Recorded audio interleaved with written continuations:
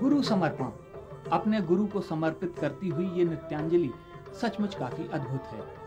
वो इसलिए कि नृत्य तो पूरी तरह भारतीय है, उड़ीसी, और नृत्यांगना विदेशी, यानी डॉक्टर इलियाना चितारेस्टी श्रद्धा सुमन अर्पित कर रही हैं अपने श्रद्धेय ओशो को।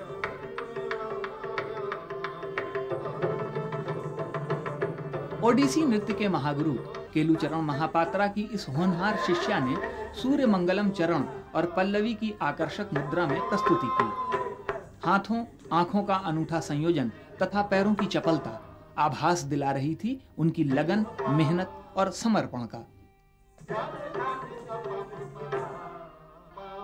डॉक्टर इलियाना चितारेस्टी लगभग 20 बरस से अपने वतन इटली को छोड़कर ओडिसी नृत्य की साधना में अनवरत लगी हुई हैं। नृत्य संगीत ऐसा माध्यम है जो अपनी ही भाषा बोलता है। वो किसी देशी या विदेशी का भेद नहीं रखता। जैसा यहाँ इलियाना के नृत्य में स्पष्ट झलक रहा है।